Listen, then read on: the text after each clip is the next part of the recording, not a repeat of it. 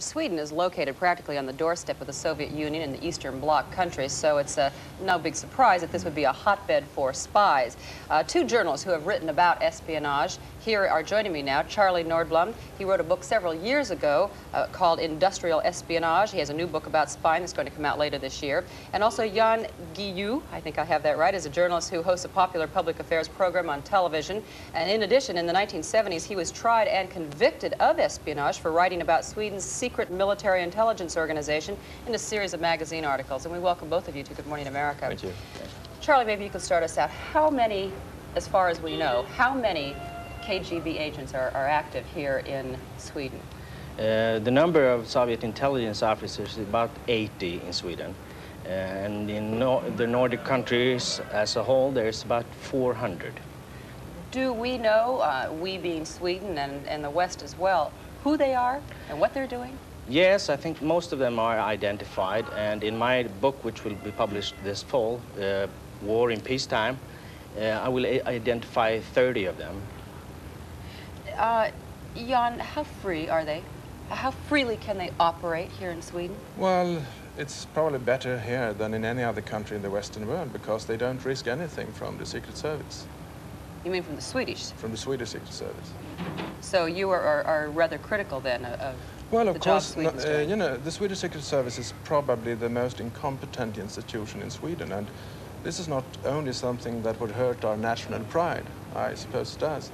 It's also bad for our democracy, because, and it's bad for the security of the state. Charlie, go ahead. I, I don't disagree. think it's incompetent. I think it's uh, really hard to say if they're competent or incompetent because it's the politicians who decide if uh, Soviet uh, intelligence officer, officers should be expelled or not.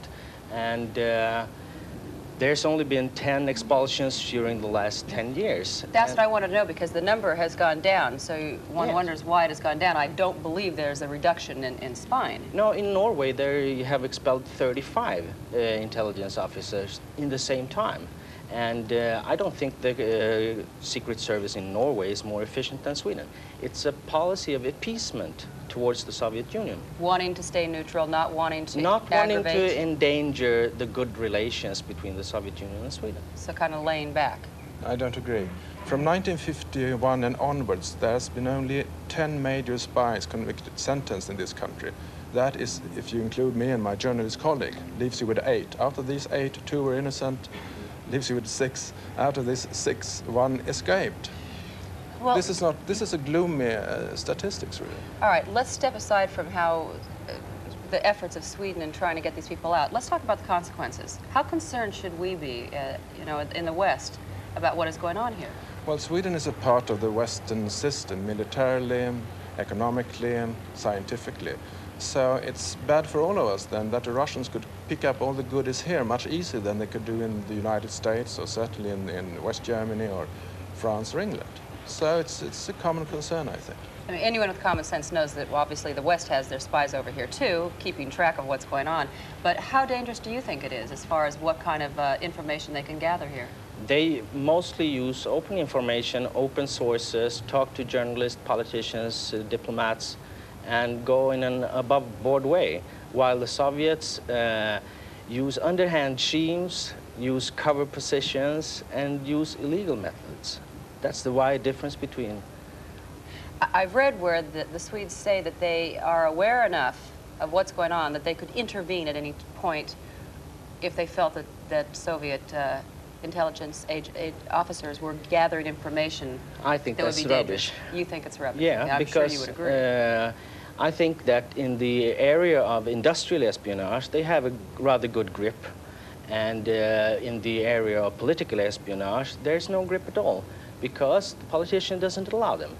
And I think the most dangerous espionage, the military espionage, there the Swedish Secret Service is not effective.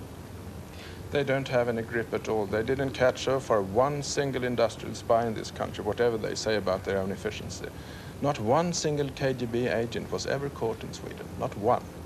So it's uh, just that they're div div diverting their interest into other things. They persecute Swedes instead. It's not really true uh, because you can't persecute a, a, KGB agent. They have diplomatic status. What Sweden can do is expel.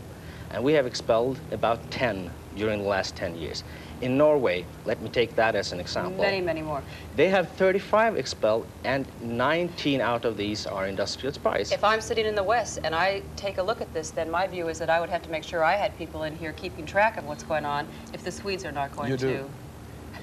we do. Yes. I'm sure you're right. well, thank you both very much for joining us today. Thank you. And we'll be back. We'll take a look at Sweden's foreign policy when we come back.